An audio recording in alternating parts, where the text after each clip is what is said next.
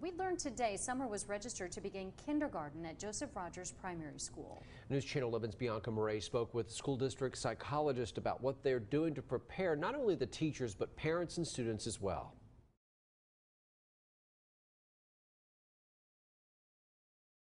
So for the people in the back that didn't hear, I posted that video quite a while back.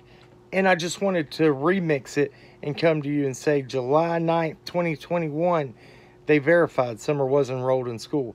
That means physicals and everything were done. Now, to this picture right here, June 16, 2017. Here's Alexia Wells shooting a BB gun with one of the boys. Does this lead to proof that somebody possibly did call on the parents and the case was closed on June 14th, 2021? You be the judge. Let's get cracking.